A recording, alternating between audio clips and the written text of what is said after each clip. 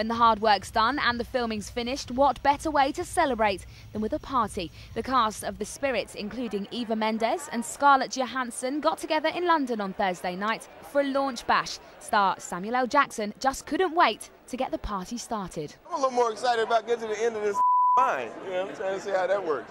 Uh, I hope the movie comes out, you know, at some point before we finish this press line tonight or this year. With all the press in attendance, it was a good excuse for the girls to get dressed up. Eva was dripping in posh diamonds, but she insists she's not that showbiz all the time.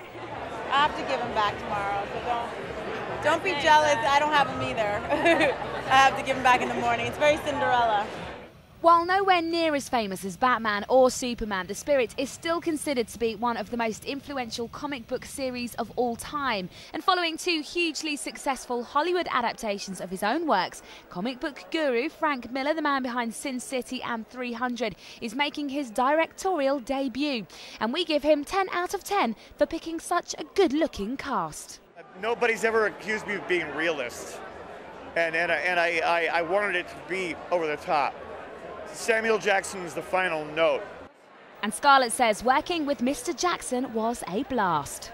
We just, the two of us got on so well from the moment we stepped on the plane. And from then on, it was every morning in the hair and makeup trailer, play loud music, share eyeshadow, you know, the whole, the whole nine.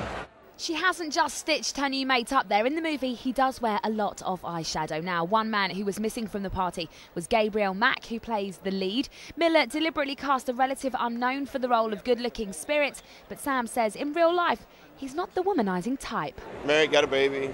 Hey, but I don't want to ruin his popularity, though. This means he's a very fertile guy. He makes very good looking babies. I'll say that for him.